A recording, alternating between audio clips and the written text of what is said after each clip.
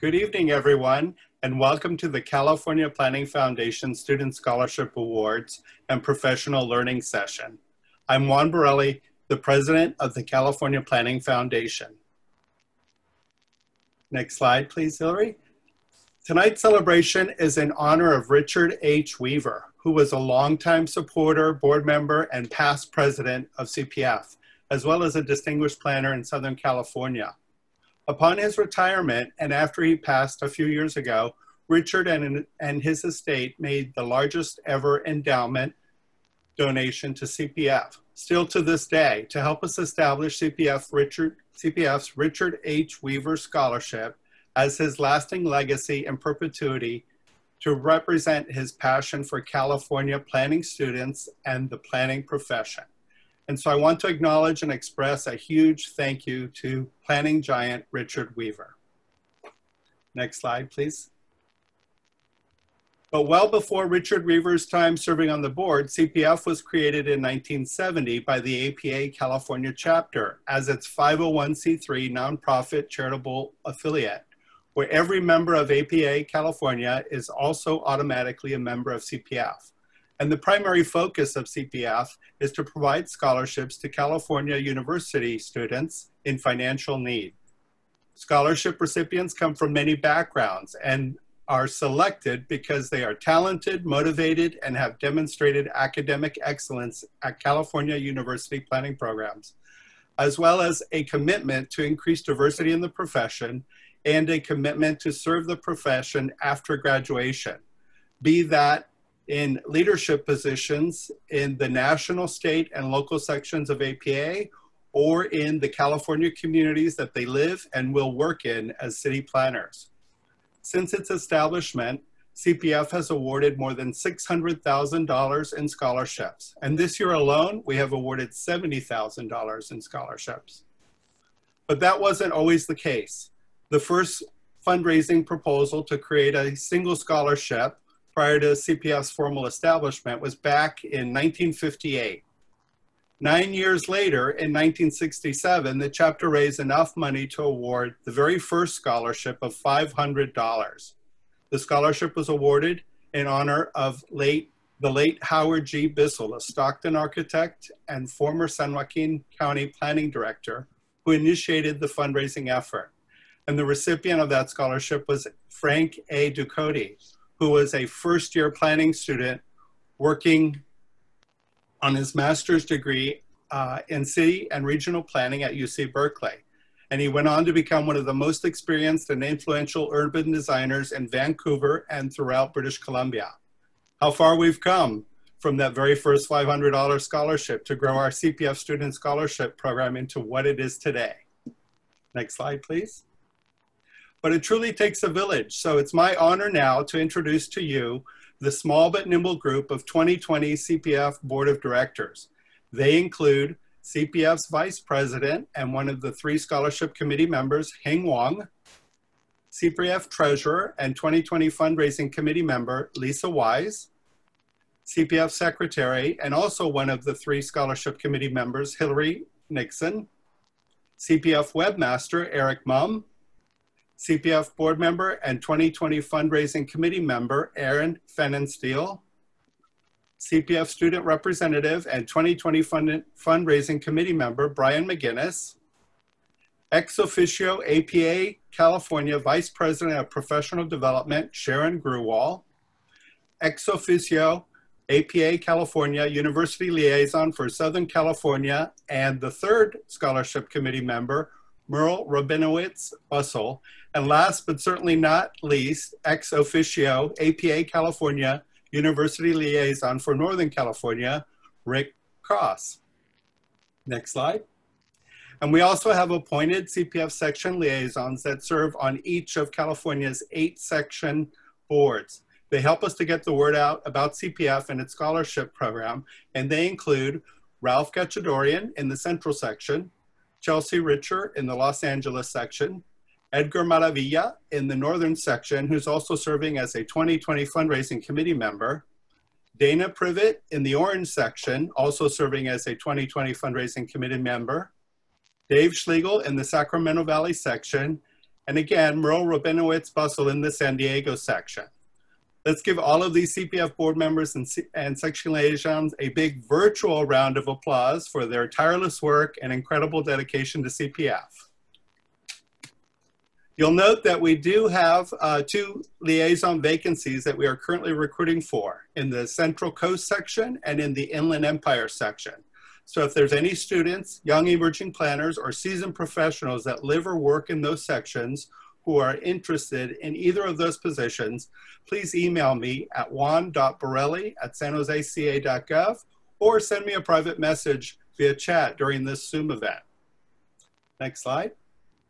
Of course, today's event and the CPF Scholarship Program would not be possible without the support of our many generous donors and supporters, including, first and foremost, the APA California chapter, all eight of the APA California sections, and all of our individual corporate, uh, individual and corporate donors, uh, including many attendees at this event tonight, who are listed on the donations page of the CPF website at www.californiaplanningfoundation.org.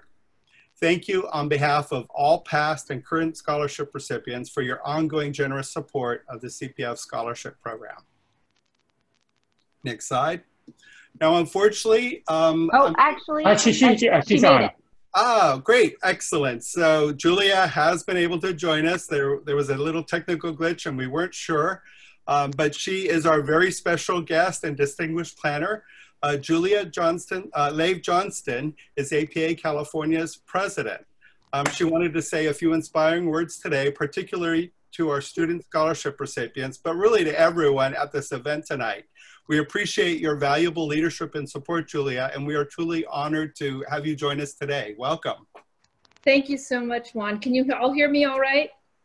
Yes. So, luckily, the only technical glitch we've had so far with the conference is my home Wi-Fi. So I'm really grateful for that, a whole day with no other problems.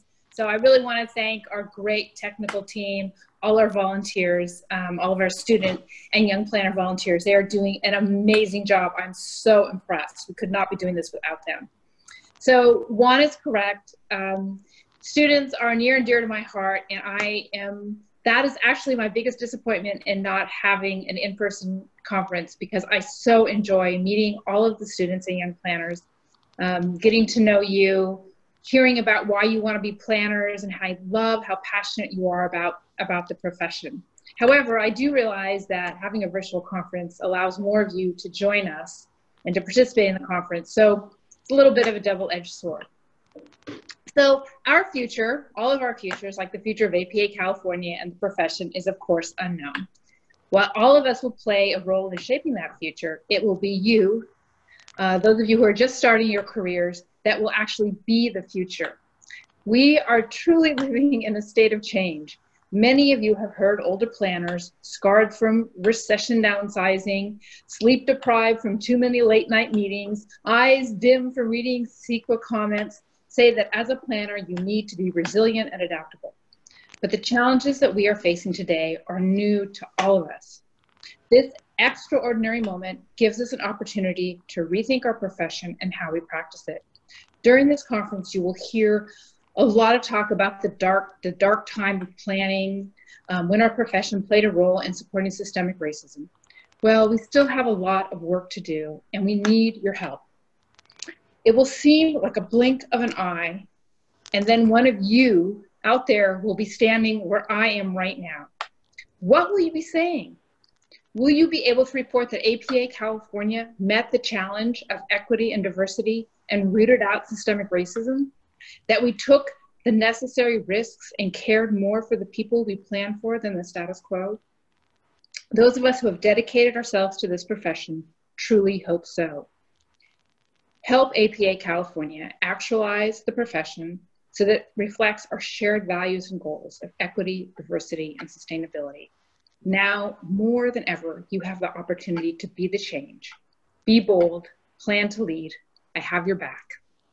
I look forward to talking with more of you of time over time. Please, please reach out to me. I am more than happy to talk to any of you about the profession. And I hope to see you, many of you, up here on this panel in the future. Thank you so much. I'm going to log off and try to fix my Wi-Fi for tomorrow, but I hope to see you all in the chats tomorrow. Please come up and say hello to me. And congratulations, so congratulations on your scholarships. I know that you truly are our future. So thank you very much. Bye, everybody. Here. Yeah.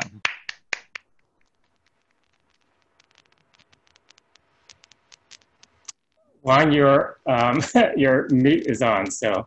Oh, thank you. So sorry. Thanks again, Julia, for sharing such passionate and empowering words um, with all of our future leaders.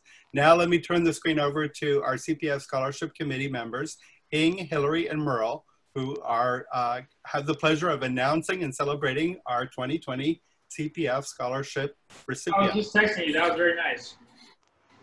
Okay, so uh, we'll stay on this. We'll, Hillary, stay on that page. Isn't that Just, uh, crazy? I think someone's in the Yeah. background somewhere. There we go.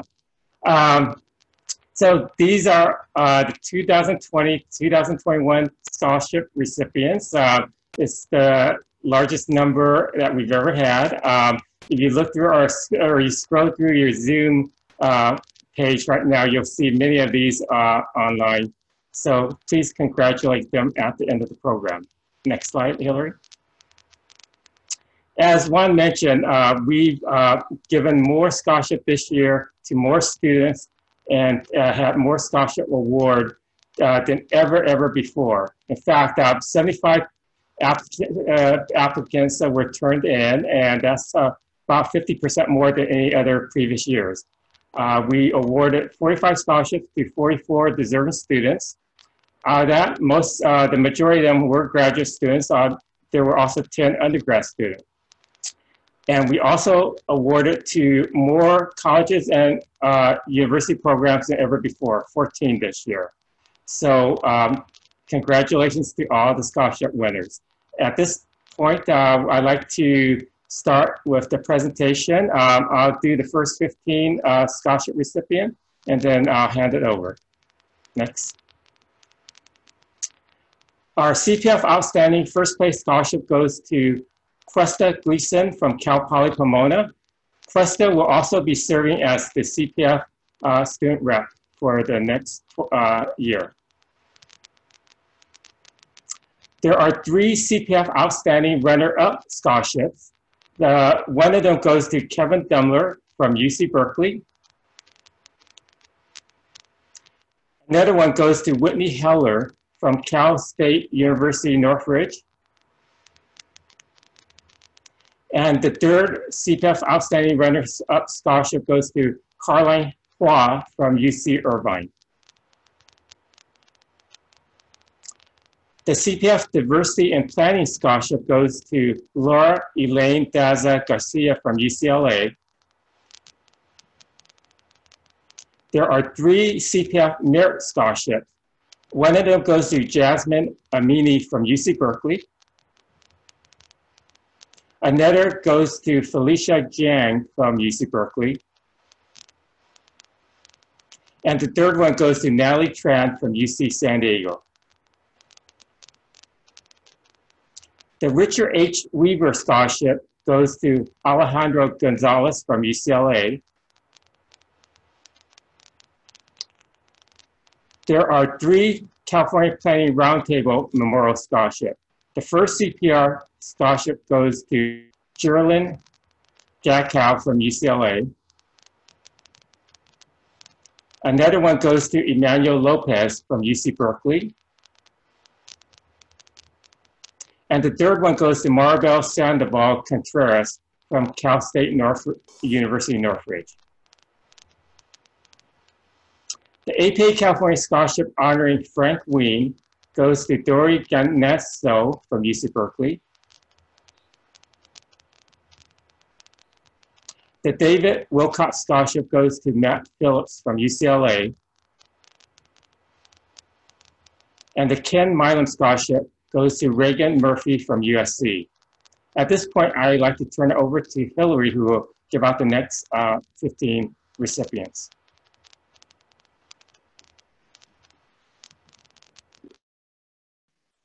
Thanks. Receiving the Paul Wack Cal Poly San Luis Obispo Scholarship is Josephine Buchanan from Cal Poly SLO. Congratulations, Josephine. Receiving the Paul Wack Sustainability Scholarship is Irene Takako Farr from UCLA. Congratulations, Irene. Receiving the Planners for Health Scholarship is Honora Montano from UC Berkeley. Congratulations. Receiving the Ted Holsom Memorial Scholarship is Rashid Shabazz from UC Berkeley. Congratulations, Rashid. Receiving the Virginia Viado Memorial Scholarship is Christian DeCastro from UCLA. Congratulations, Christian. Receiving the Russell Fay Central Section Scholarship is Antonio Olea from CSU Fresno. Congratulations, Antonio. Receiving the Central Coast Section Scholarship is Josephine Buchanan from Cal Poly San Luis Obispo. And receiving the second Central Coast Section Scholarship is Wesley Wong, also from Cal Poly San Luis Obispo. Receiving the Inland Empire Section Scholarship is Norma Flores from Cal Poly Pomona. Receiving the second Inland Empire Second Scholarship is Dominique Gonzalez, also from Cal Poly Pomona. We have several LA section scholarships. The first goes to Sabrina Alonso from University of Southern California. Congratulations, Sabrina. Another LA section scholarship goes to Brian Delarie from Cal Poly Pomona. Congratulations, Brian. Another LA section scholarship goes to Danielle Dirksen, University of Southern California. Another LA section scholarship goes to Serena Lynn from USC. Congratulations, Serena. And another LA section scholarship goes to Daniel Liu from UCLA. Congratulations, Daniel. Moving on, I'm going to turn the, the uh, presentations over to Mirle to continue with the next 15 awards. Okay, terrific. And continuing with our Los Angeles section scholarship recipients, we have Edgar Mejia from UCLA. Also receiving a Los Angeles section scholarship is Roxanne Rivas from Cal State University, Northridge. Receiving another Los Angeles section scholarship is Lena Rogow from UCLA. Receiving a Los Angeles section scholarship is Nathan Romine from CSU Northridge. Receiving another one of our Los Angeles section scholarships is Matthew Vu from LA Trade Technical College. We have several Northern section scholarships. Our first recipient is Hsieh Choi from San Jose State University. Another Northern Section Scholarship recipient is Ethan Ebinger from UC Berkeley. Also receiving a Northern Section Scholarship is Hannah Meeks from Sonoma State University.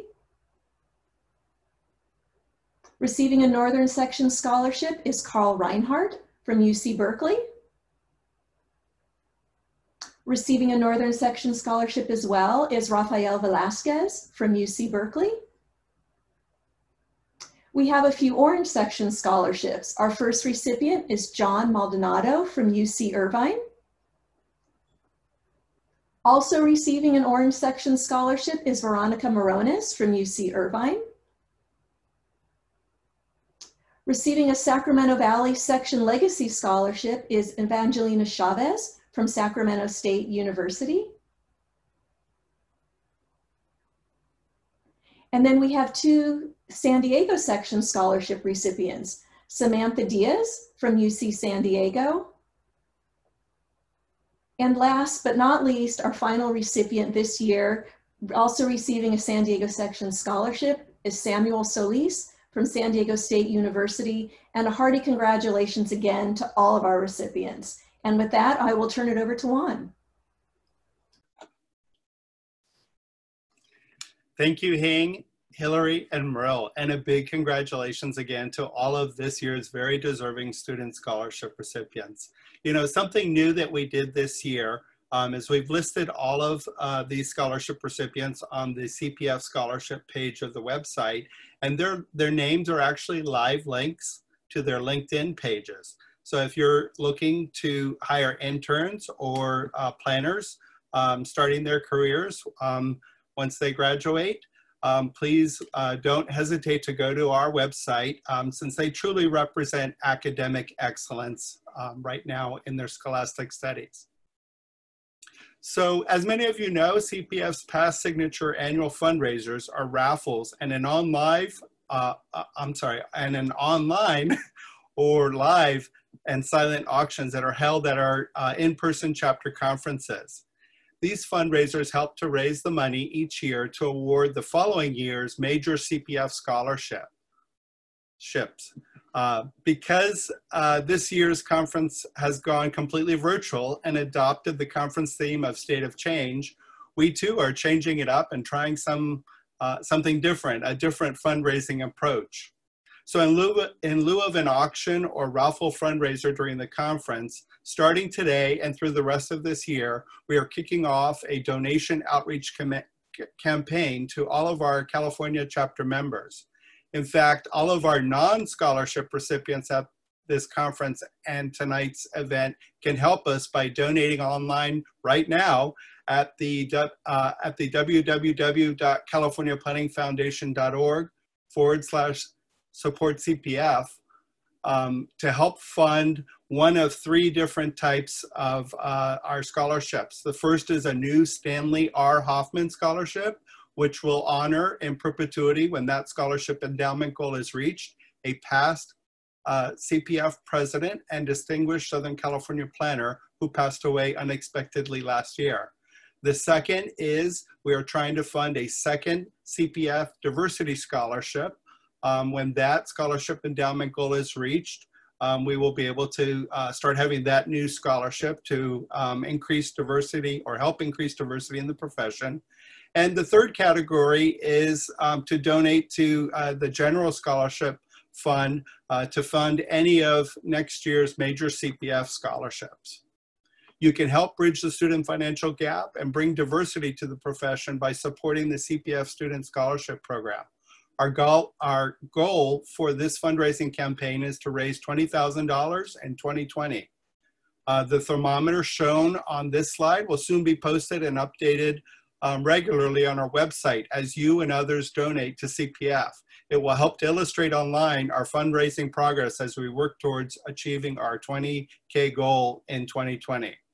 Again, not today's scholarship recipients, but speaking to all others, uh, on this event. Please consider making a donation online now to the CPF Student Scholarship Fund. And together we can continue to support our students who are the future leaders in APA and in the planning profession. There is truly no donation too small or too large. Next slide, please. And now to kick off the professional learning session portion of this event, I'd like to turn the screen over to CPF Treasurer and panel moderator Lisa Wise. Thank you, Juan. Congratulations to everybody again. Um, job well done. You are obviously or definitely the best of the best um, out there. So let me, uh, I'll pull up my screen and we jump into this next section. Can you guys see the screen okay?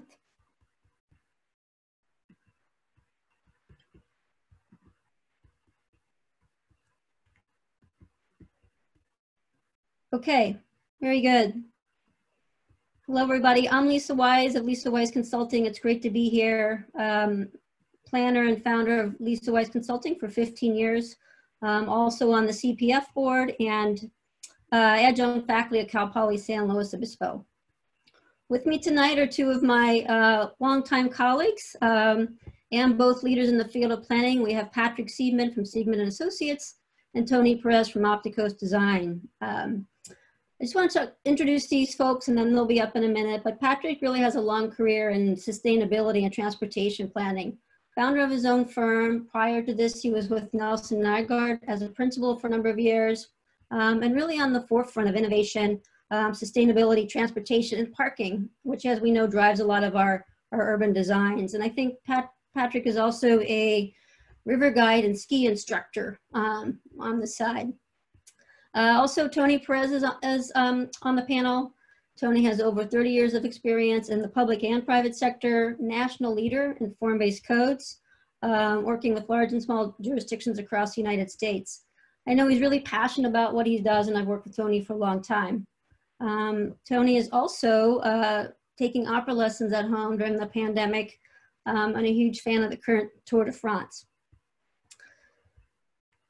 The next slide shows the, um, just let me see, uh, just the agenda for the next, next um, 30 or 40 minutes. We want to talk a little bit about the objectives or what we hope that you get out of the, out of the session. Uh, I'm going to kick the, the panel off with reflecting on a couple of past projects we've, that we've done as a team, Tony and Patrick and myself, and then turn it over to Patrick and Tony for their presentations, and hopefully we have plenty of, of time at the end for discussion and questions. So in terms of the objectives, what we really want to um, talk about is, you know, what we've learned that might be helpful to um, to the students on the line uh, and people joining their careers. We've really geared this toward the students because we thought the, the main audience was the students. So we're looking at um, what's helpful for you as you move into the to your next uh, to your final year of school and then the next phase after that. Um, we also have a little bit of helpful career advice in terms of uh, looking at your job search and potential coursework in the coming year. But then more importantly, we have a little bit of information on um, affecting change and thinking about the big picture. Uh, as Julia said, it's really a good time to be thinking about that. There's a lot going on. Of course, we're dealing with the pandemic. There's Black Lives Matter. There's climate change. There's just a lot of things coming together right now um, and thinking how we impact uh, that and make meaning and lasting change is one of the things we want to cover. And of course, hopefully we have a little bit of fun. We'll see, we'll see how this goes.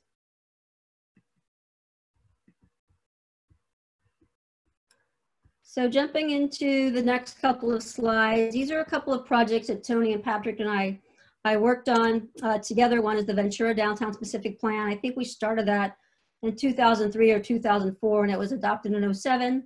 And then 10 years later, we did the downtown plan for Hayward.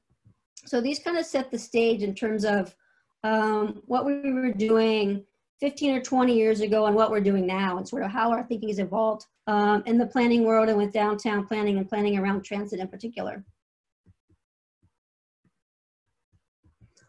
The downtown Ventura plan again was um, adopted in 2007 and like a lot of cities um, their downtown plan and downtown regulations uh, was a broken system it really didn't work when you put all the pieces together you really couldn't get uh, uh, you couldn't build a small infill lot there wasn't it wasn't physically um, uh, doable the there was height re regulations there was on-site parking requirements there was landscaping so when you put all this together um, nothing could work so working with Patrick on the parking regulations, reducing parking requirements and fixing on-street parking requirements, um, we fixed some of that. And then working with Tony on the development regulations and the form-based code, we unraveled that. And the project on the left is something that got built under the, under the code on California Street. And the project on the right is a affordable housing project for um, artists for living and working. It was a big priority for the plan. Um, and Tony was instrumental in changing the regulations to let these, let these come online. And then downtown Hayward, which was um, adopted last year. Um, it's on a BART line, as many in the Bay Area know, but there's a lot of challenges um, in downtown Hayward. And one of them is a highway that goes through the downtown. So Patrick was part of the team that helped unravel this uh, mobility issue and really um, uh, come up with strategies to um, undo that one-way highway loop. So with multimodal, uh, multimodal um, strategies, road diets, and of course parking, um, because as we all know, we're still wrestling with parking and it drives a, a lot of the conversation. And then another goal here too was updating the code, although we um, learned a lot over the intervening years of, of, what codes and standards need to look like. Um, and Tony was instrumental in getting us a code that really fit and was right for their context um, and for the existing conditions.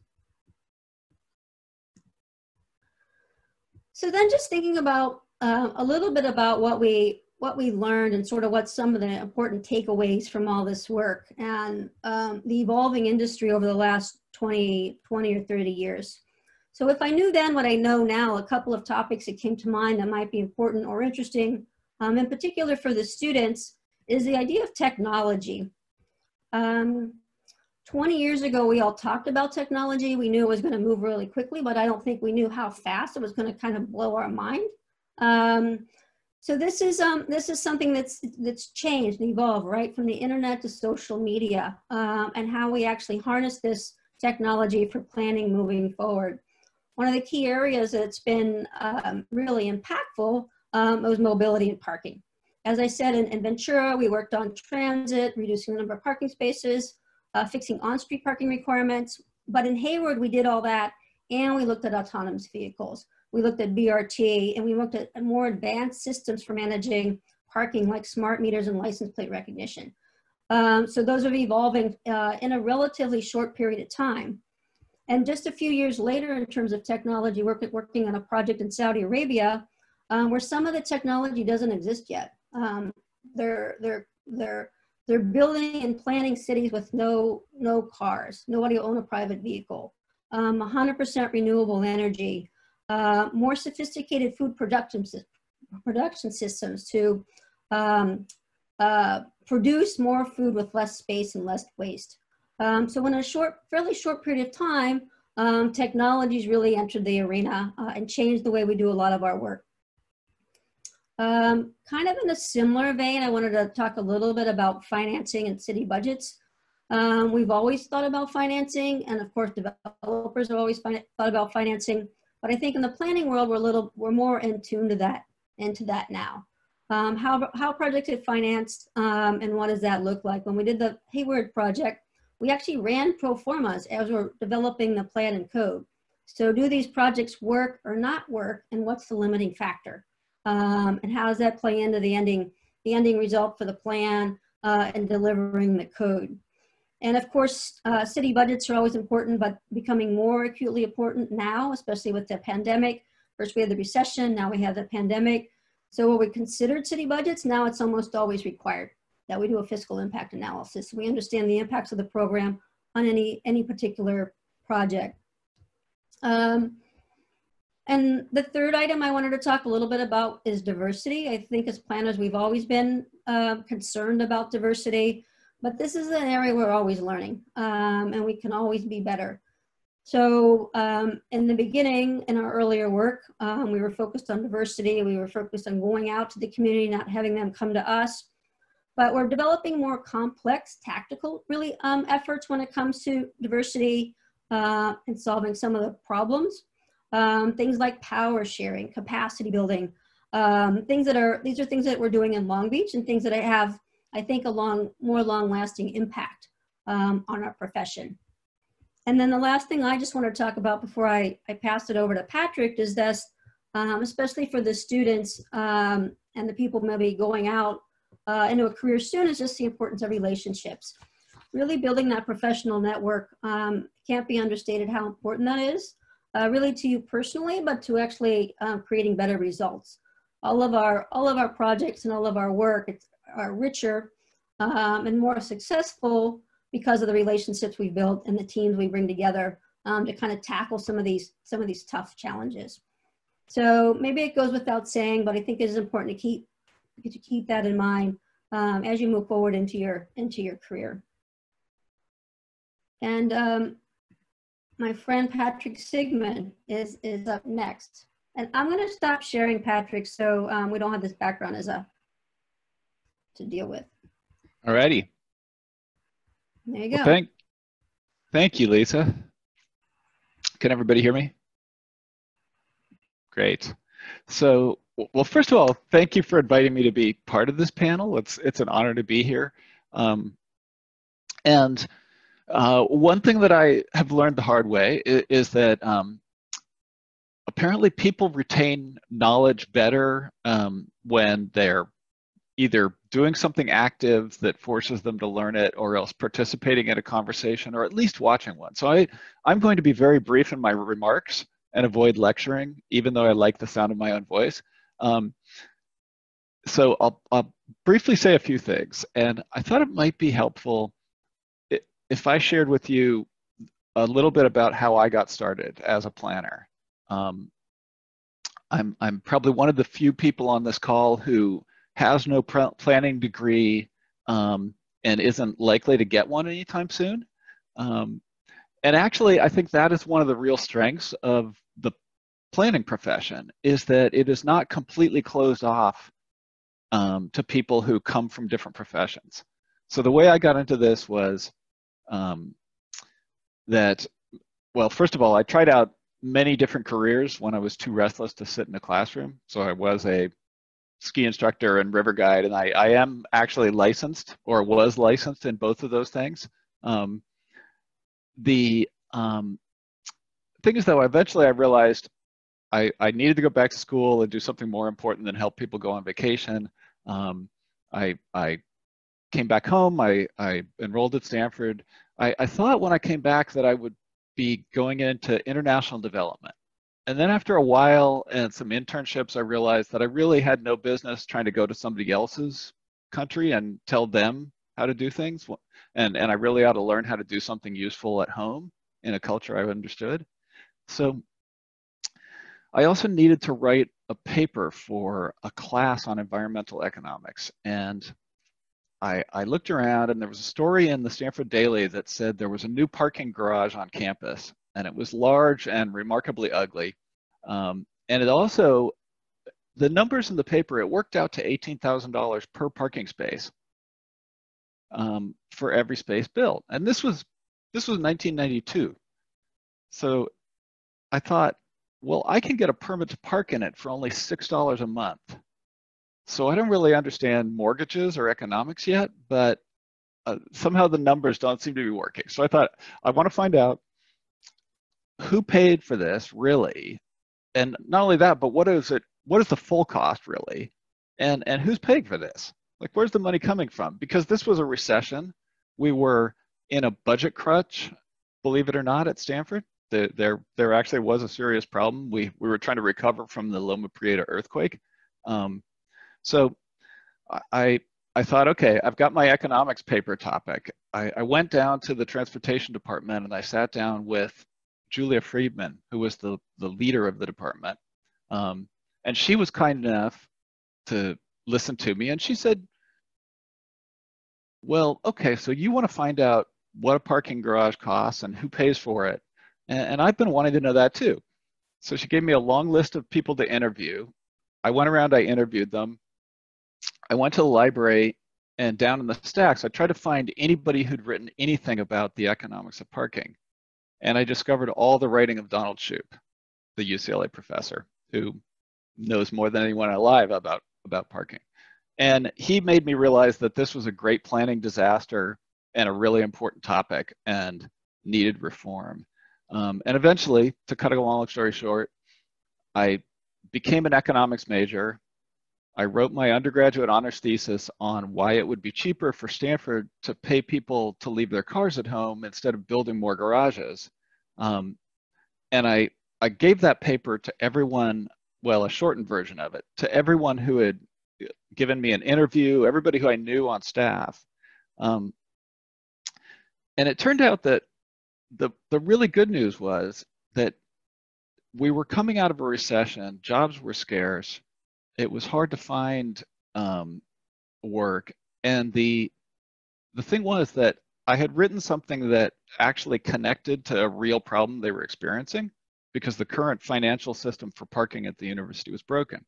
And so basically, they were able to give me a job to try to implement some of the things in the paper, um, even though the university was in a hiring freeze. And I, I took a couple things away from that. One is that if you can find a way to meet real people working in the profession you want to be in, or just people who have a job that you would like to have someday, you think, um, and find out the, the real problems they're struggling with, um, and then try to have your academic studies address that problem, um, you you have a much better chance, first of all, of, of being motivated, or at least for me, I was much more motivated to to actually do my work because I knew I was working on something real. um, it turned out that what I was doing was useful. And also, I think a lot of these folks figured, well, if, if this kid is willing to do this um, instead of studying anything else, then probably he'll work hard if, if we give him a job. And so that got me in the door. And, and I mean, 20 years later, I'm still reading Donald Shoup's work and then repeating it to clients. And that turns out to be a pretty good way to earn a decent middle class living. Um, so those are some lessons I would take away. Um, it, it an, another thing is it can be really useful if you take the lessons you learn in one field and bring them to a different field. Um, it, you know, in traffic engineering, it's actually kind of a revelation to hear someone say that if the price of parking goes up, demand for parking goes down, and so do motor vehicle trips. That's like not that's not something you learn in engineering classes. Um, so the the fact is I've lost and forgotten most of my advanced economic skills, but but the basics I remember and, and really learn. So that that approach of both finding a real problem that somebody is trying to solve and working on it yourself and and also taking skills from one field and bringing to another those, those can both be really helpful um, and with that let me turn it over to tony um, i i haven't uh, yet admitted all my failures but feel free to ask me about those and i look forward to our conversation Uh, good afternoon. Um, hello, everybody. I'm Tony Perez. And uh, yeah, I didn't know we were going to do failures uh, today, but uh, I'm happy to share them as, as, they're, as it is effective for you all. Uh, you know, I'll do the same thing as Patrick. I'll give you a couple of um, just overarching uh, topics. Uh, and then, you know, y'all can, can ask questions. But I think the first thing I want to impart on you all is is is just that um, that I learned um, early on. I, I, went to Cal Poly Pomona, so it's really great to see all the Cal Poly Pomona um, graduates that earned the scholarships tonight. Uh, that was really awesome. Yeah, I'm, I'm looking right at Cuesta with the way that my thing is lined up. So congratulations to you and everyone else. But I, I think that um, uh, you know, very early on in our in our um, education, the instructors, told, you know, made it clear that we would be. sorry, I got a lot of sunlight. I'm sorry.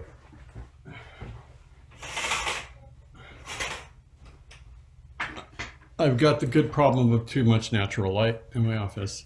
Um, but they, they let us know very early on that we would be making a lot of presentations, standing in front of people, helping them, facilitating meetings, all kinds of things like that you know, nothing like that I'd been prepared to do. And through through that education, um, they helped us gain those skills. And then, you know, once you went right into a city, my, one of my first jobs was right right out of Cal Poly was right into a city, and so you just started developing those skills. Um, for better or for worse, a lot of a lot of advancements and a lot of retreats. But anyway, I I realized quickly, wow, you know, if you're in the public sector, uh, like I was, you're you're you have a responsibility to explain things to people and to explain them consistently and helpfully and with energy and um, and you know I guess um, giving people some type of um,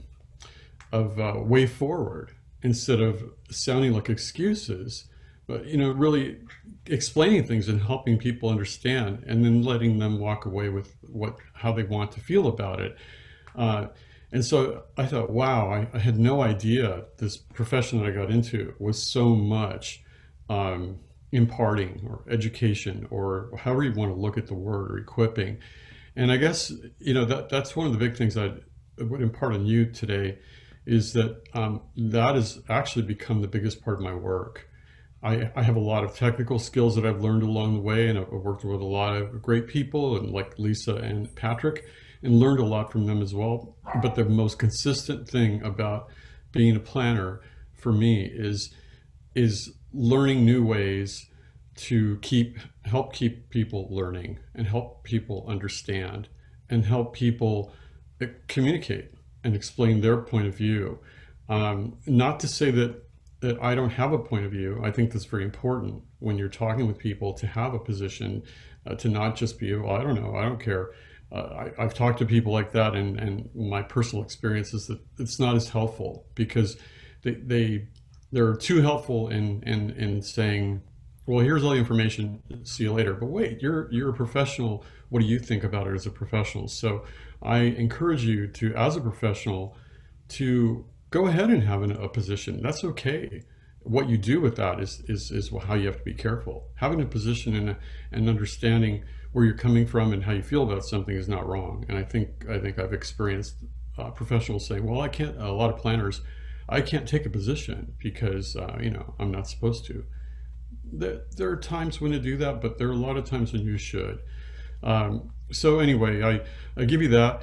The other thing is, um, I came into it like like Patrick. I um, except I I went back. I I was going to be an architect, and um, I was going to go to Cal Poly for architecture, and then at the last minute I said, no, that's too it's too focused. I want to broaden out and do more than one building, um, and so I'm going to study planning. I'm going to go into this urban planning thing, and um, and so what I did instead is I married an architect. All my friends are architects. Most of my colleagues are architects. I work with architects. So I covered that. I covered that need there. But I became a planner and, and I really had, um, at the time back in 82, uh, I really didn't have an idea of, of what the profession was. So um, it, it, was it was uh, it was really something. And I, I guess the thing I want to impart on you about that is that as you enter this profession, I always tell students that I work with, you know, make sure what you're getting into is more more closely aligned with what you think you're wanting to do rather than diametrically opposite. And that sounds obvious, but there are a lot of planners that I meet that say, wow, I didn't know that what I was getting into was this. Uh, for example, in my first job, as much as Cal Poly had exposed us and trained us, uh, one of my first jobs was to implement the zoning ordinance at the planning counter. I, you know, it's like, okay, we, we studied pieces of a code and I, you know, we weren't exposed enough to really know how to operate it. And, and so somebody asks you a question and, you know, here's a person with a property. They're about to make an investment or trying to make an investment, either at their house or a business or an industry, right? And the question comes to you and they say, well, why is it that number and not this number? you told me 10 why is it why is it 10 not 7 or 6 or 4 you know and, and after a couple of years of that you start seeing wow yeah they they have really good questions and i don't have answers for that so uh, i yeah i was not prepared for for that um, so be aware of what you're getting into and um, and uh, make sure that it's where you want to go the last thing I'll tell you before we turn it back and get into questions, because um, we could all talk for the whole time by ourselves, and that's not what we want to do.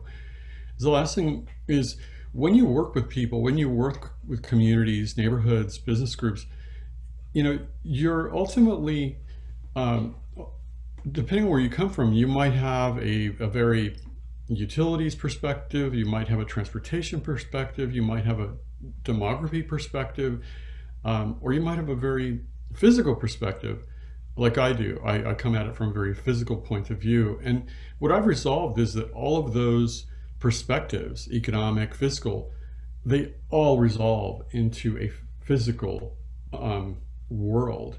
Like you, you can say, well, you know, there's the economics, there's this, there's the political. Yeah, but at the end of the day, what do we all walk around in? What do we all walk on? What do we, we're, we're all sitting in buildings and we're all sitting in some context, right? And those contexts are different. At the end of the day, you are in a physically oriented profession. And how you deal with that and what aspect of that, that that's the beauty of it. It's, it's, it's, very, it's very diverse in that way. But at its core, it's a physical oriented profession. And why do I say that? Why do I take time to explain that? because it wasn't that obvious to me. And I'm a very physically oriented person. And it wasn't that obvious to me. It was so abstracted uh, uh, in terms of numbers and um, equations and, and, and all these other things. It, it, took me a while to really understand that. So after I don't know 30 years, I, I still feel that way. But um, and if you didn't know that you're going into some kind of physically oriented profession, I just want to uh, let you know now. so uh, Lisa, back to you uh, for discussion. Great, thanks, Tony. Um, yeah, we have a couple a couple of um, comments coming in or questions. So I can um, I can moderate it, Juan, and then um, uh, if you need to chime in, that's fine. So Patrick and Tony, um, one of the first questions is, um, what has been the hardest planning concept to explain to the public?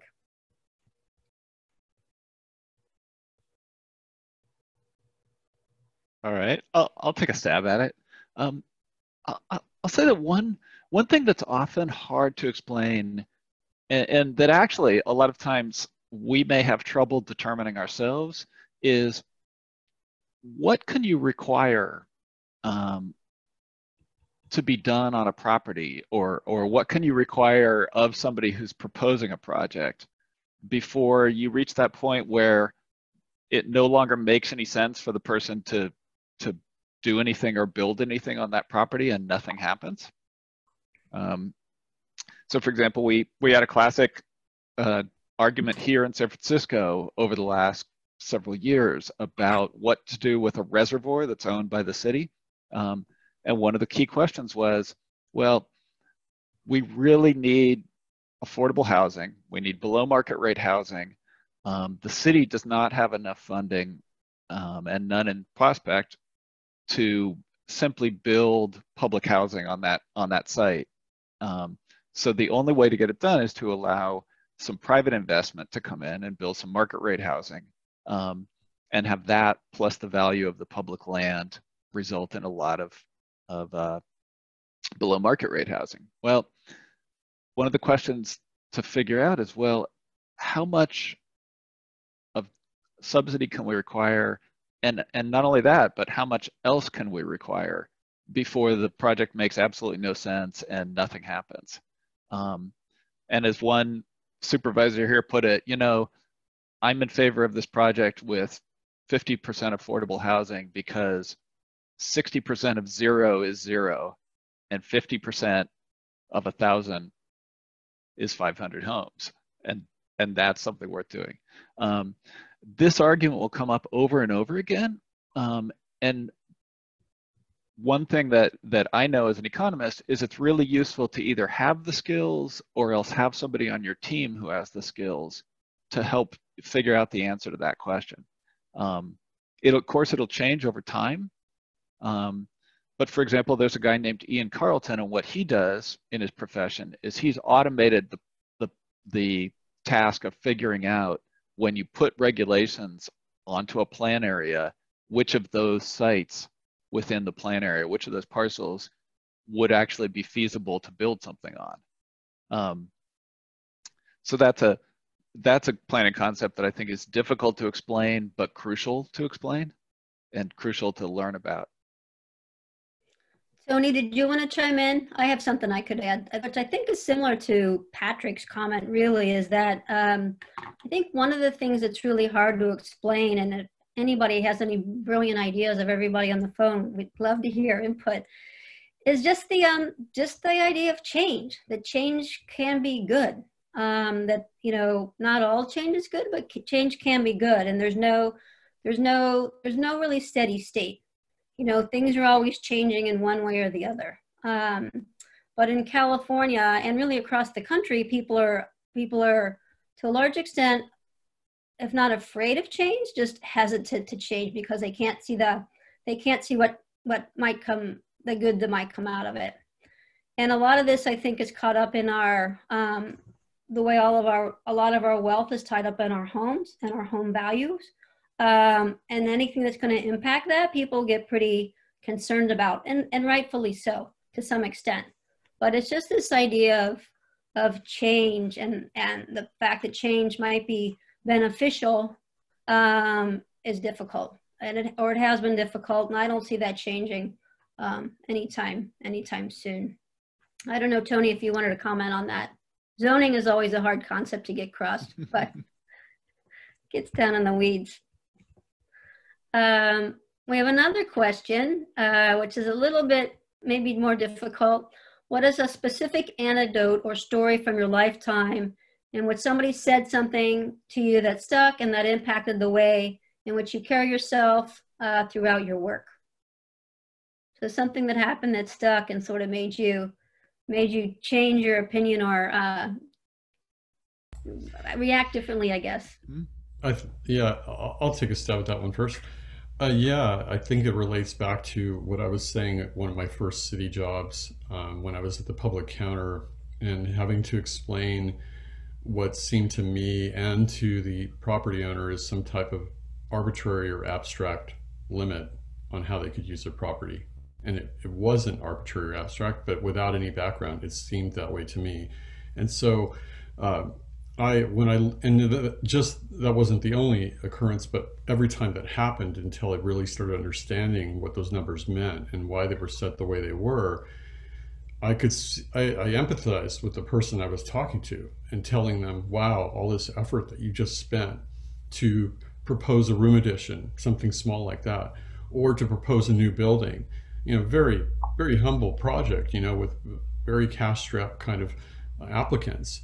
um, and uh, and having to look them in the, in the eye and say, I'm sorry, there's nothing I can do, but these ordinances are the way they are, and there's a process to change that ordinance, but you know, that it wasn't it wasn't something that they were willing to take on, uh, and I could just see that in their face over and over and over for several years, and it really bugged at me to to say, okay, I need to get involved to a understand where these numbers are coming from, and b um, adjust them if if necessary.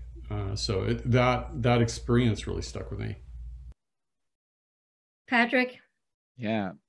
So I I met a guy named Dan Burden about 25 years ago. He he travels the country with it. It used to be he traveled the country with a gigantic suitcase full of um, carousels of slides, hundreds and hundreds of slides, and would show people how to make walkable communities and bicycle friendly communities at a time when that was much more of a fringe concept among transportation engineers and planners.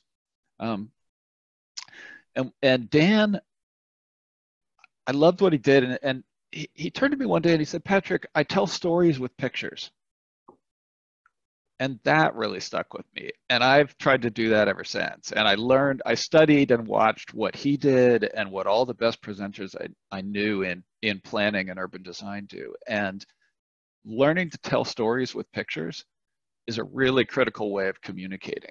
There there um, robert shiller is the nobel prize winning economist um, who studies stock markets and and crashes and panics. Um, and he he he refers to humans as um, homo narrative because we learn through stories and we also learn through images.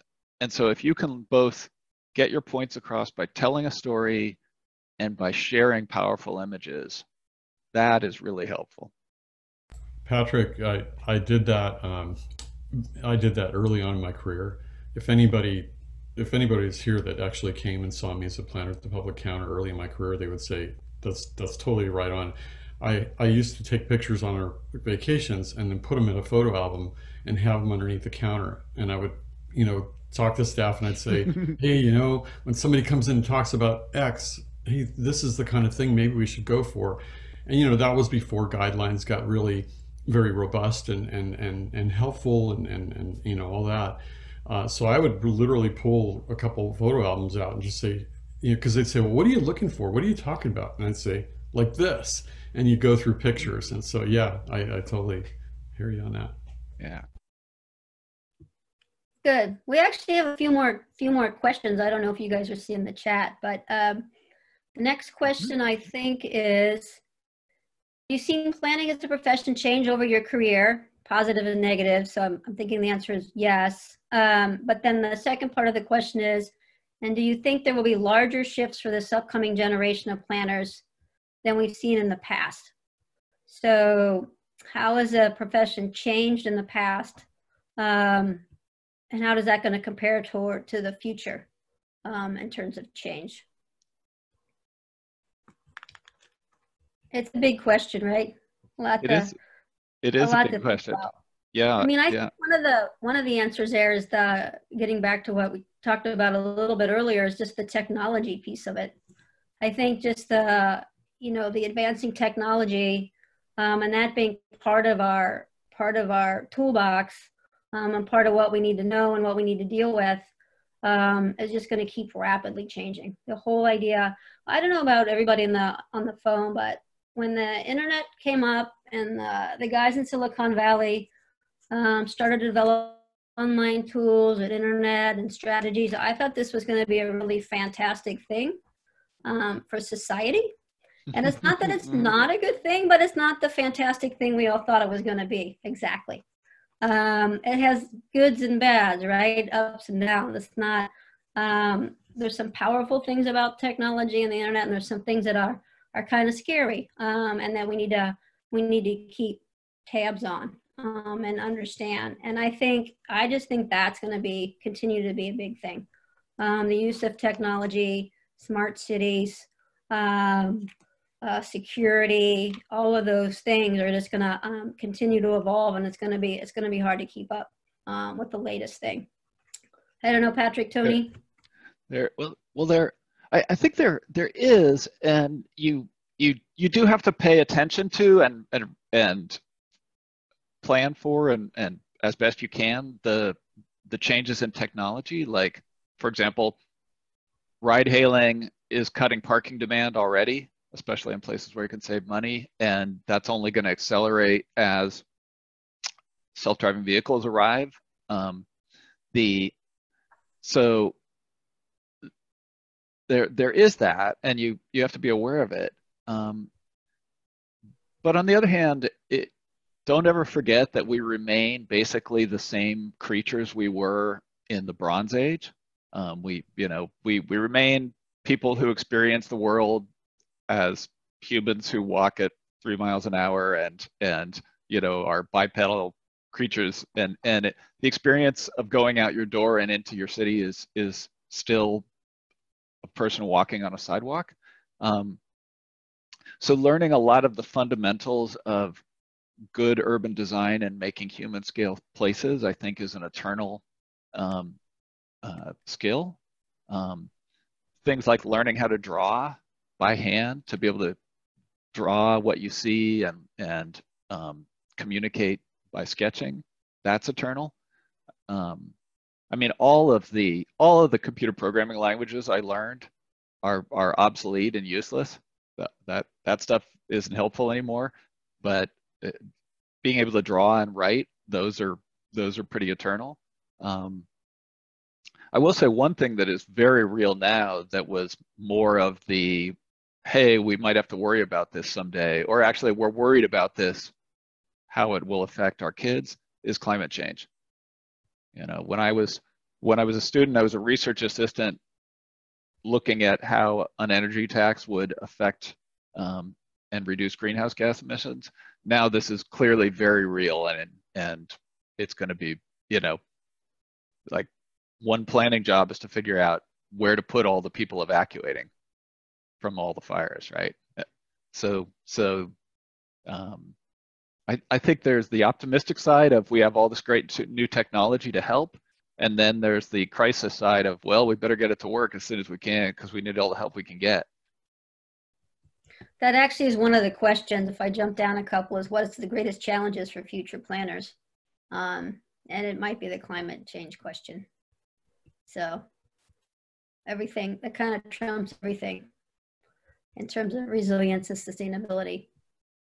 Um, there's another question here from, let's see, Wesley Wong. Uh, what advice and recommendations would you give to students going through the early parts of their planning careers?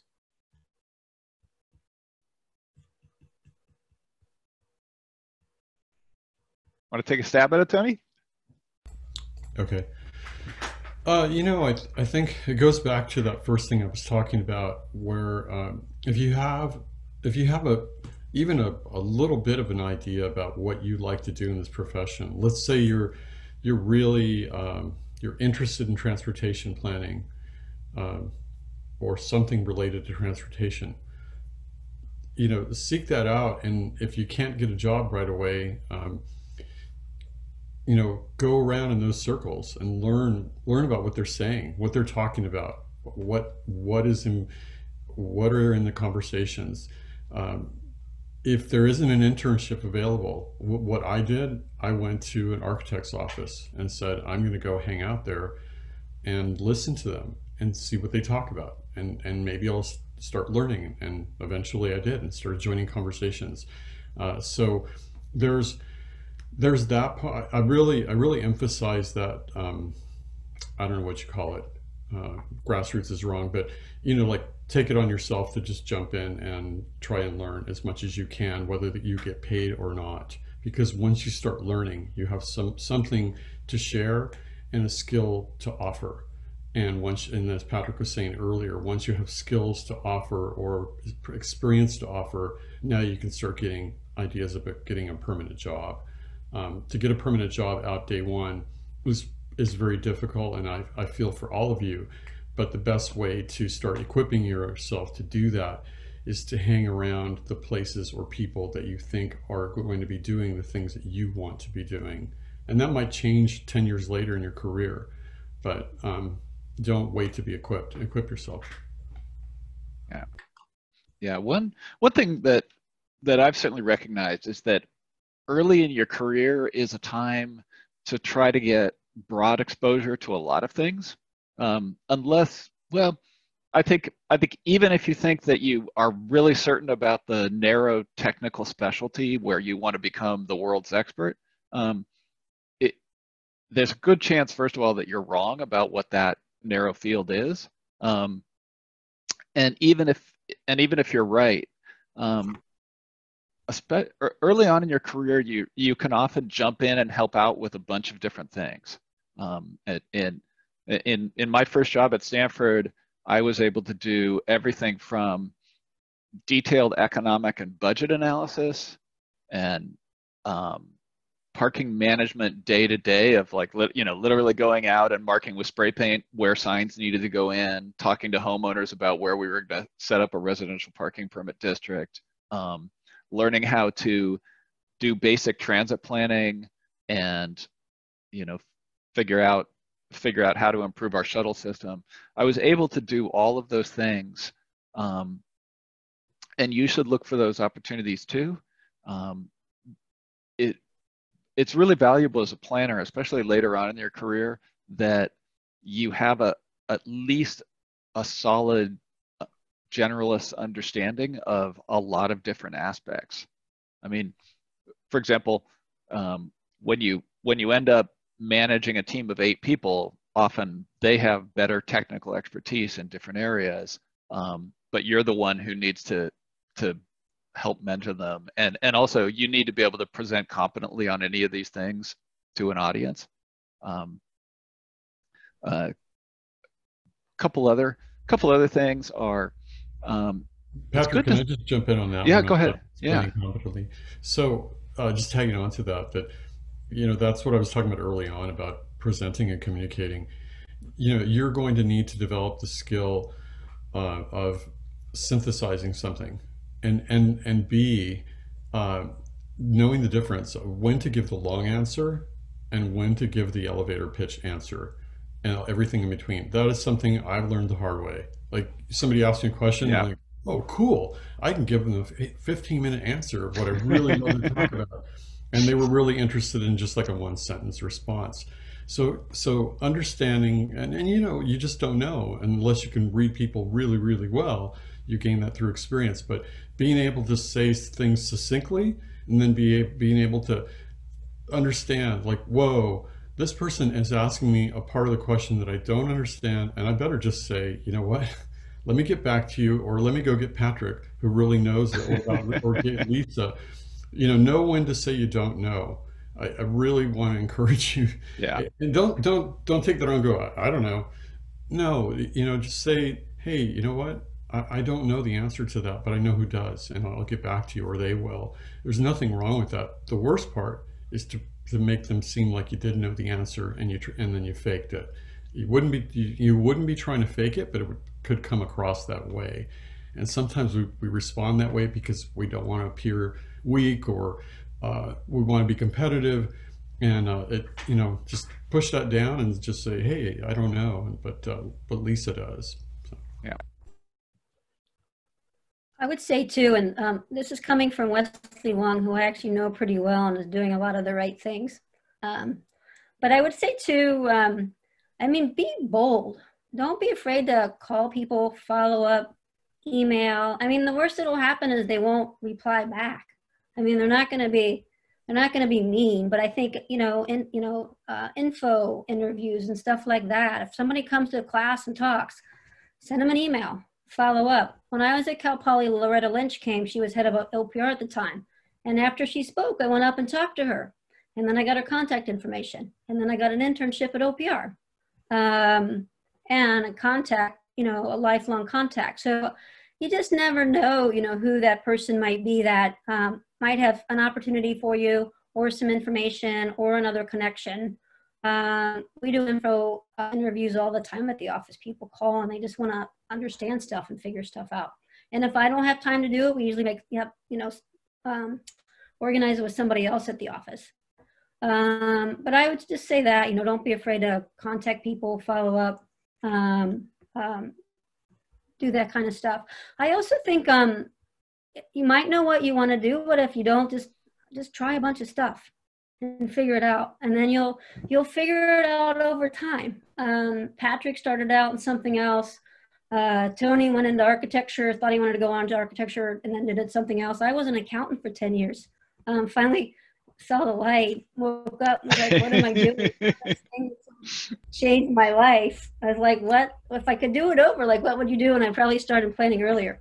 Um, but, you know, recognizing that you can do something for a while and then change and then um, and, and figure it out. And I think, I think uh, with things moving fast and kind of the, what's going on uh, in the world with all these different things is going to be part of your career anyway. You might think you want to go into transportation or affordable housing, but one thing leads you to another, um, and pretty hard to predict where you're going to be in 25 years. I predict everybody's going to be in a pretty good place, but nobody has a crystal ball like what exactly that looks like. You know, Lisa, you, re- you remind me of all the discussions that the that Neuroin has had, um, you know, 30 years ago about needing more generalists and less specialists. And it's true, like Patrick was saying earlier too, that uh, it's it's what the what we all need in the in the planning profession is people who know more about a lot of things and aren't just this one specialist that when that specialty isn't being talked about, they're useless. That that you need to be, yeah. you know, maybe you're shallow in a lot of things, but you have a broader understanding. You're way more useful that way than being the mega expert on X and if X isn't in the discussion, you're out. So. Yeah. A mile wide and an inch deep, right? Yeah. So the next question is um, difficult concept to explain. Why is the most positive environmental project given a negative declaration? Did you guys see this one? I don't know. Good question. yes. Yeah. I, I, I think that, that Ronald Reagan has to take the blame for that one because he's the guy who signed the California Environmental Quality Act into law in 1970. So we, we have to ask his ghost. Yeah. Um, just on a sidebar, people, you know, are love and hate CEQA in California, but when you go to another state that doesn't have CEQA, you find it kindly feel like you're like, there's a big problem because there's no, there's no environmental checks. Um, uh, and you're like, what do you mean we can't, you know, protect the air or you know worry about stormwater runoff or you know that plant or animal um, there's nothing to go to mm. so um, next question is it's a long one i think maybe we, we might have answered part of this um, planners have long been viewed as technical experts but recently there has been much needed emphasis placed on treating community members as the technical experts of their own communities and centering their lived experiences within planning processes. Have you navigated this within your career and what advice do you have uh, for young planners who want to serve communities with respect and dignity and, and without simply telling communities what they should do? I think it's a more of an outreach uh, question of um, working more closely with communities and not just come in as as the expert top down and sharing stuff. Well, it's a it- it's a really good question, and and actually, I I advise starting that that thought process by thinking about who is the community and and um, not just accepting that it's whoever shows up at the meeting that got called the same old way um, because for example you can go to many historically whites only communities in this town or in uh, any many california cities um, and who's there well it's the people who you know inherited their house from their parents who got to buy in when only white people were allowed in, or it's the people who can afford a um, house in the community that has a median home value of $3 million. Um, if you simply show up at meetings that the city planner has called and talk to those people, um, you're often excluding all the people who work in that town but can't afford to live there. Um, you can get really different answers oftentimes by changing um, the frame of who is the community and and also by changing the way you do outreach. Um, so for example, one thing that we're debating a lot in California right now and trying to get right is what's the right balance between having state laws that tell everybody that they have to do their fair share versus having local um, jurisdiction and, and power.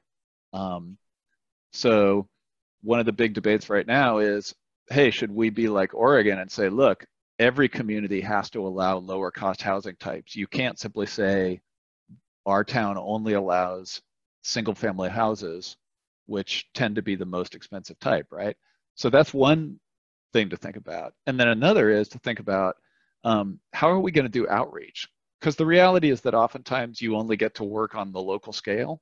Um, and so, for example, in in a recent plan for Davis, um, our outreach folks with the, the support of the city staff did a lot of outreach to people in places where they work um, and in places where they shop. And that gets you a very different uh, group of people. Oftentimes it's people who have less money and are more diverse than if you simply say, well, it's whoever is able to, to show up for a three hour meeting on a Tuesday night, or worse yet, a three-hour meeting in the middle of the workday. Um, so that's a the, those are important things to to consider. And I mean, what, another thing that I always try to remember is that you know I've been hired to offer my technical expertise and point of view, but nobody voted for me, and ultimately I'm not going to I'm I'm not going to get to vote, right? Um, it's it's ultimately going to go down to what is the city council willing to vote for so that helps me approach things with a, a, a degree of humility there's another aspect to the question um, I, I also i heard in there also about um, you know just the community becoming the experts and i think that um, there, that's where that's where um, a lot of planning efforts give up. Um, they and you might not think they give up, but if you think of the professional team that is serving that project or man in a neighborhood or a community, and all they do is ask people, well, what do you want?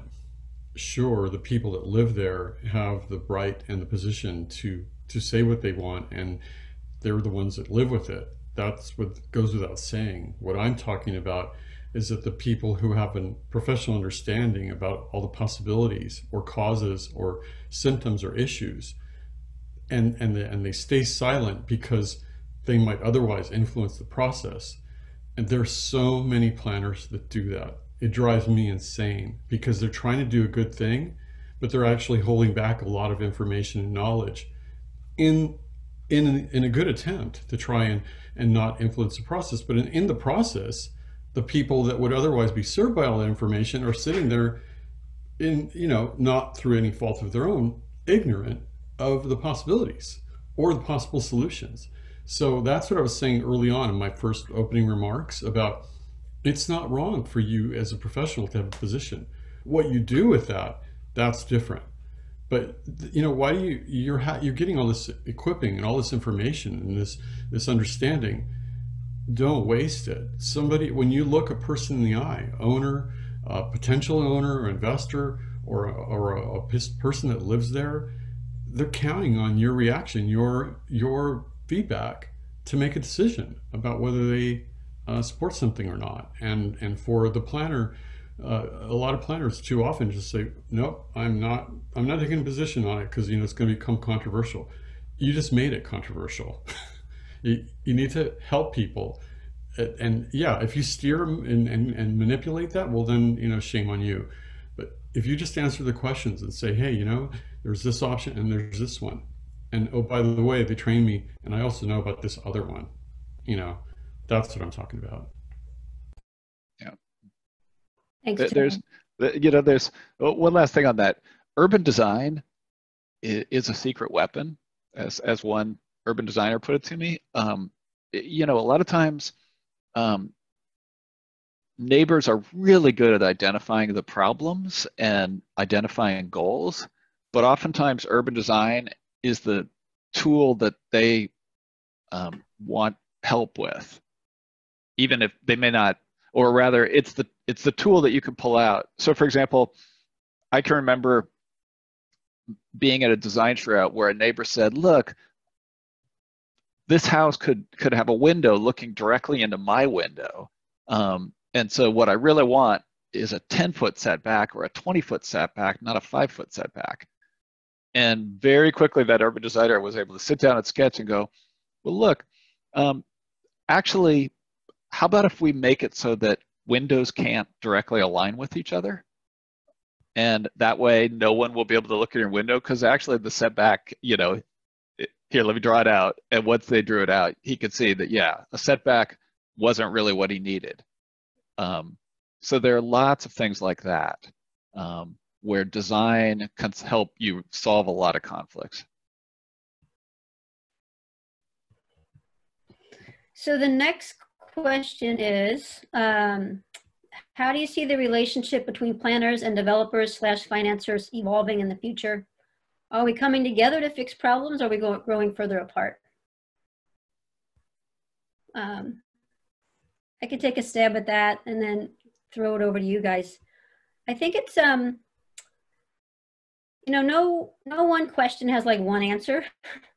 and no no city is exactly the same. They all have their own personality. So I think in some places people are coming together, in some places people are growing apart. Um, um, in general, though, I think uh, planners are understanding that you know we need developers and financiers to get things done more than more so than maybe in the past. Maybe there's uh, folks on the on the call that would disagree with us. Uh, have been in the profession a long time but um, but I think what I've seen in the last 20 years is more focus on um, understanding the really the market realities for developers uh, development. So when plans and zoning codes and development codes and mobility plans and strategic plans are done, um, they're more grounded in reality, uh, in market realities, instead of they need to be visionary. They're long term. We can't just base everything on a five year pro forma, um, which is what developers work from, but they also do need to be, you know, some level of feasibility. So I see this, I see this growing uh, more closely together um, in terms of implementation and people wanting to get housing built uh, and community amenities put in and community assets put in.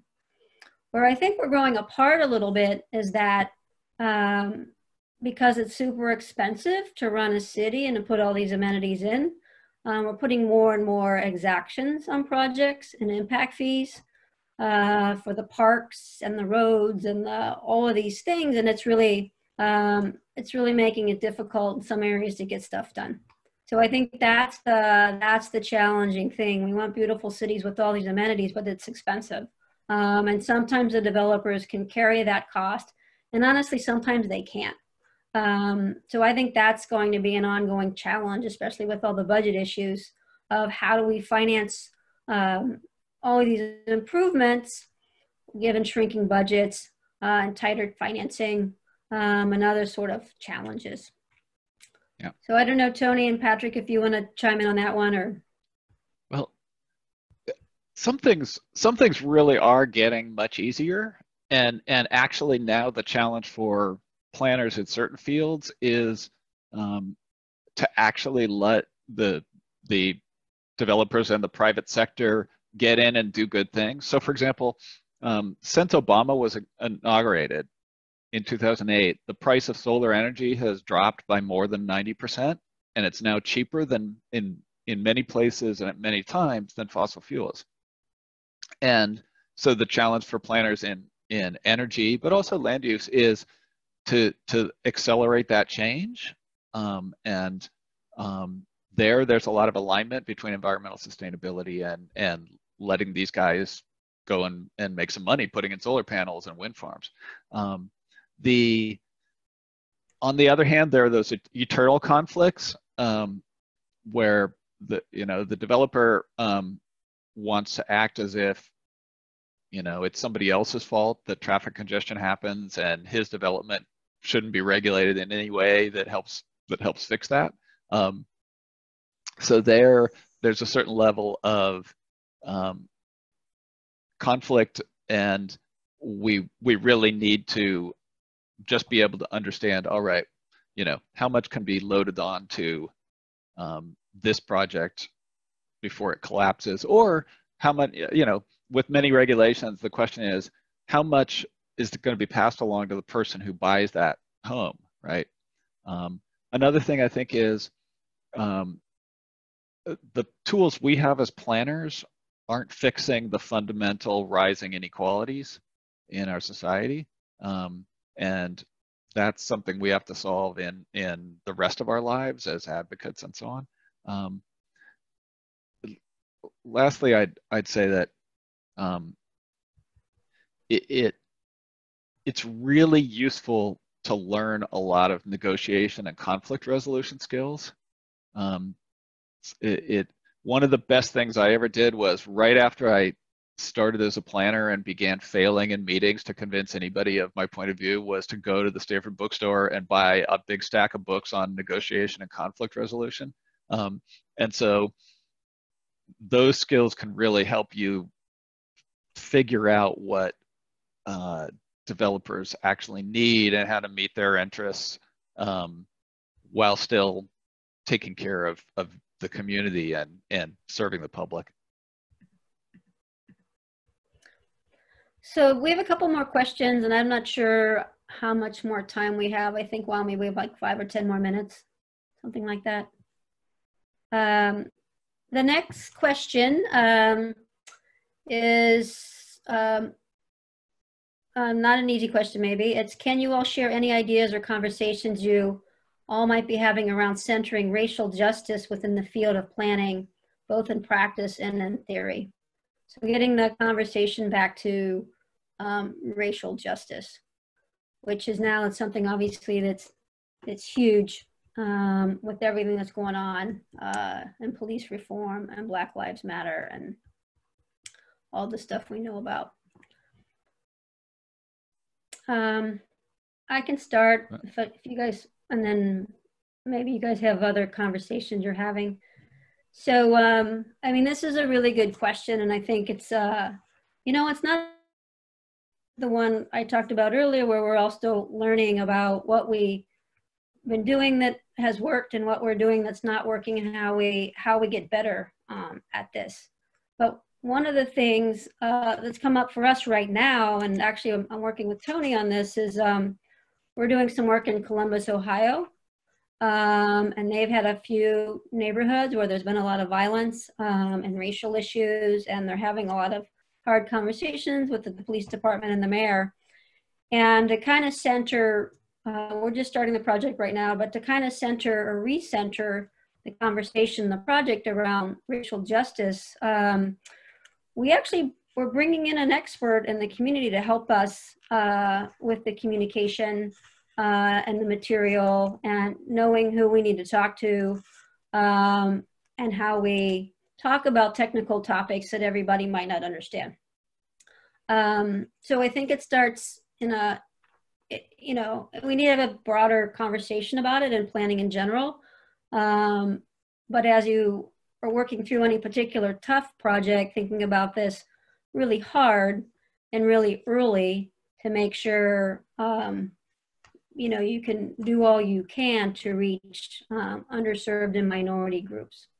And i think that's one thing that um, we haven't always been good at but i think we're getting better at it. And there's we're not it's not that we don't want to be good about it. I just don't think we've i don't know.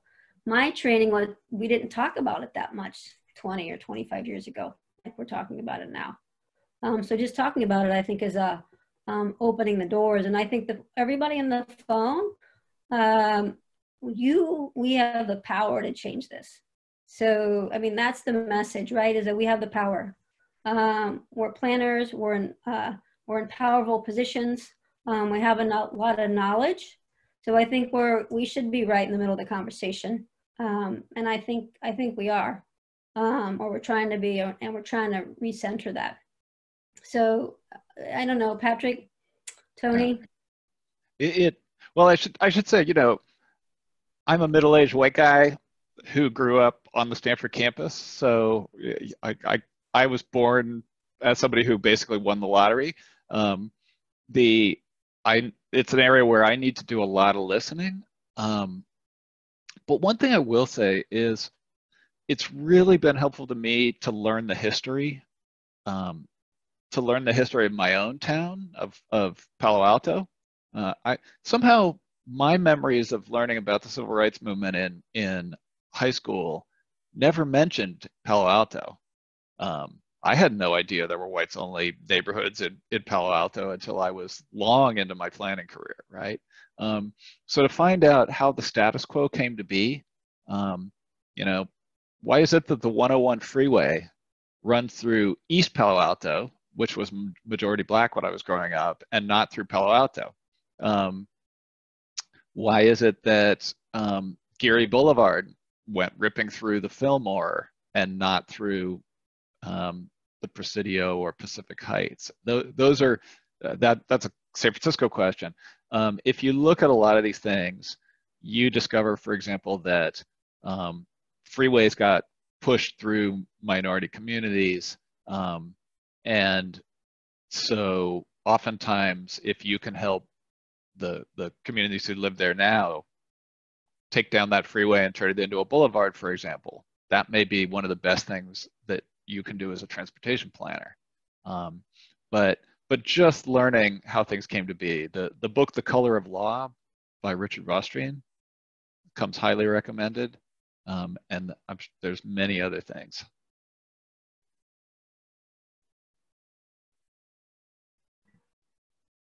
Thanks. Yeah, I mean, I think part of it is is reading and learning and understanding um, the systemic racism, particularly in our field, um, because we need to understand it and learn it and own that. Unfortunately, um, to make it better. So I think that's that's kind of all on us.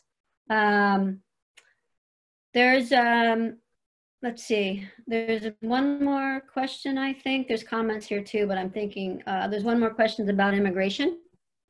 Um, thousands of immigrants, immigrants and immigrants at the border are currently being displaced today. The number of migrants and immigrants increases every day. This continues to be overlooked issue in urban planning. Um, where can they live with dignity? Can they raise their families in a healthy community free of discrimination and criminalization? Um, yeah, another another tough tough yeah. question. Um, I think you know I don't know. I think I think one of the things California is trying to do, and we're trying to do it at our practice in particular, um, is just work on the housing issue in general. Um, we need more housing, right, across the board. The governor's working on three and a half million new units. Uh, um, pushing that out uh, into all the regions. Uh, um, the SCAG region, I think, has 1.3 million units to plan for uh, in all income categories. So I think that that production of housing will help. Um, but what I, I don't know is getting a little bit off topic, but I'm, I'm worried about the, the push from the state on housing production is going to create a little bit of a backlash that we're all going to have to deal with because um, people are going to be uncomfortable with that amount of housing uh, and that intensity in their neighborhoods. And it's going to be something we're going to have to have to work through. There's all these bills that keep coming up for um, pushing more housing, more density by transit, uh, more density by transit corridors. There was one bill just recently um, to allow subdivisions of single family homes, SB 1120. Um, that just recently failed. So I think this is something we all need to get more educated on, uh, is this legislation that's out there. Um, I get, we got a thumbs up from Jay. Um, um, and what it means and the and the, the um the positive side and the challenge that it's going to be because again it gets back to people being afraid uh, having all their net worth in their home and that being a really sacred thing uh, but we have all these other problems to fix yeah. so how are we gonna how are we gonna bring all that together um, not an easy uh, easy thing to solve but i think um, you know with the the 65 people on the phone if we keep talking uh, and learning and figuring this out, I mean, this is what it's gonna. This is what it's gonna take. Yeah. There, there's also, I have to say that it's really easy as a planner to get um, sort of sucked into to talking about everything as a problem, um, and it, it it part of our jobs, I think, as as planners, is to bring people out of that place of fear and darkness and over to hope and and over to seeing the benefits. Uh, it, it it's often true that you go to places where there are really smart people, and oftentimes they have more degrees than I do, and sometimes they have no degree and they're just smarter. Um, but they often don't have the knowledge that we are able to spend our days gathering. And so it's it's remarkable. We were working in Cupertino, and people were afraid that allowing more apartments to, for example, serve some of the workers who, or you know, provide homes for some of the workers who are there, would overcrowd their schools. Then we talked to the planning uh, director at the school district, and she said, "Oh no, our problem is that enrollment has been dropping. These people are talking about a problem that we had 30 years ago. Um, I mean, the the population of Dana Point, California, which is a beautiful beach town, it's fallen by 10% in the last 10 years. Um, it, you know, adding a few more uh, pedestrians to their sidewalks and apartments to their town, I, I, I think they, that actually many people, once they got over the initial change, would say, hey, you know, it's, a, it's a, actually a little more lively and interesting around here. Um, and another thing is,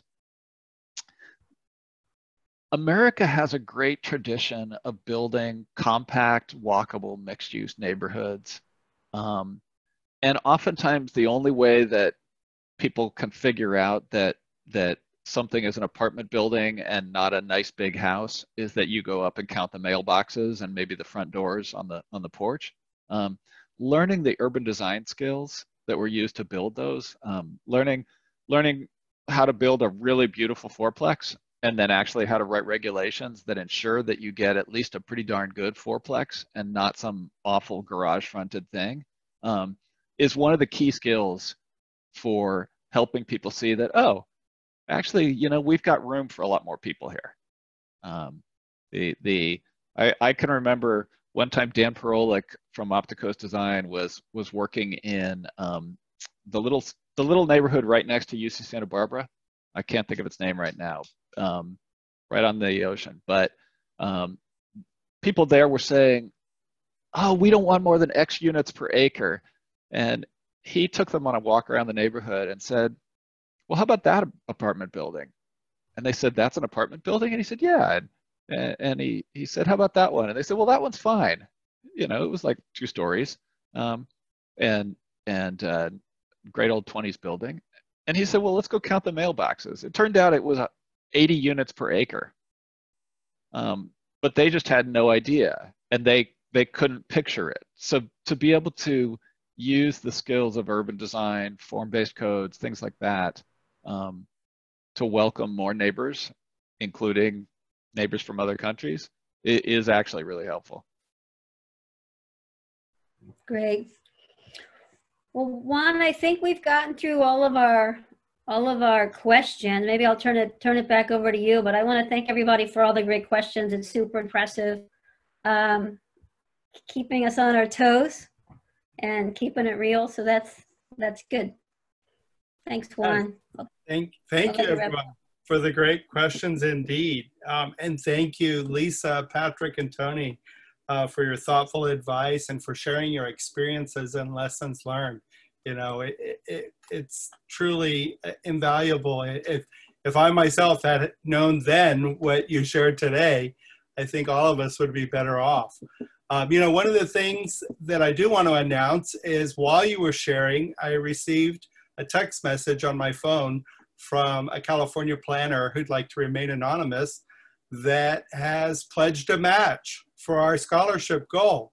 Um, dollar for dollar, uh, that planner will match um, up to $20,000. So we actually have an opportunity now to double our goal um, and maybe reach 40,000 by the end of the year.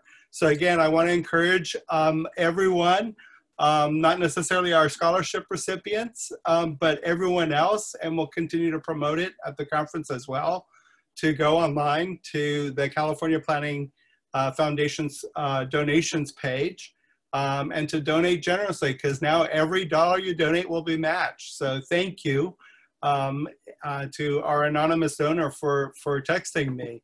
Um, I do want to congratulate again all of our 2020 scholarship uh, recipients, our CPF scholarship recipients.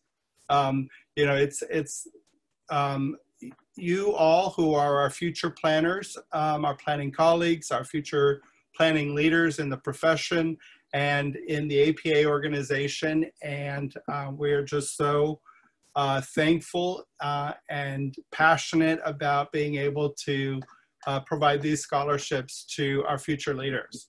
Um, I want to thank um, all of our presenters tonight, Julia, Hing, Hillary, Mirle, Lisa, Patrick, and Tony again. Thank you so much. Um, and thank you everyone for coming. Um, have a great night and have a great rest of your conference. Thank you.